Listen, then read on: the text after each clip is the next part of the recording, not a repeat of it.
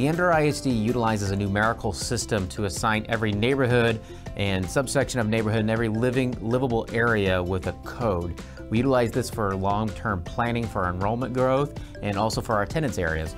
So it's important that you look up your house or your apartment in our online PDF that has all of the different codes, as we oftentimes refer to these during an attendance area change.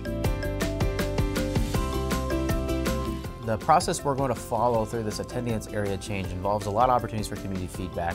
Um, and our process actually starts with us putting out and utilizing a new tool called Thought Exchange to get the different characteristics of a, of a successful boundary plan, get that input from our community, and also to figure out what neighborhoods we really want to target um, for possible changes and realignment.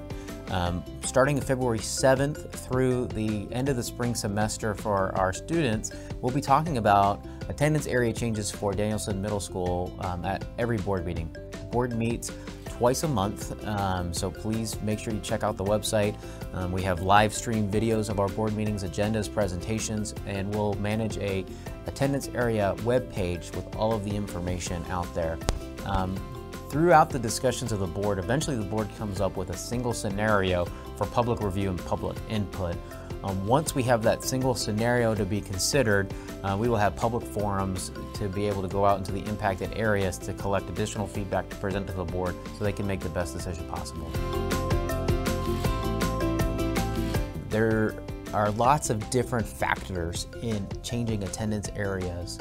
Um, there's utilization of buildings, there's um, keeping kids in proximity to their assigned school, um, there's long-term projections in terms of new growth coming in and you don't want to open up a new school only to have it be overcrowded as we continue to build new, new homes in this area and add a thousand plus new students every year.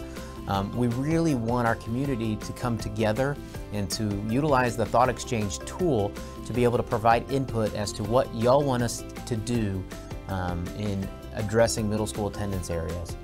Thank you for watching and learning more about attendance area changes in Leander ISD. It's an exciting time to be here as we plan to open one new school up every year um, for the next 10 years as we grow by a thousand new students. Make sure you utilize Thought Exchange as we continue to collect feedback at the start of this process and look out for more information on our Leander ISD website, our bi-weekly newsletters, and in our board meetings twice a month now through the end of the spring semester. Um, please continue to follow the process and we look forward to working with you to make the best decision possible for our kids.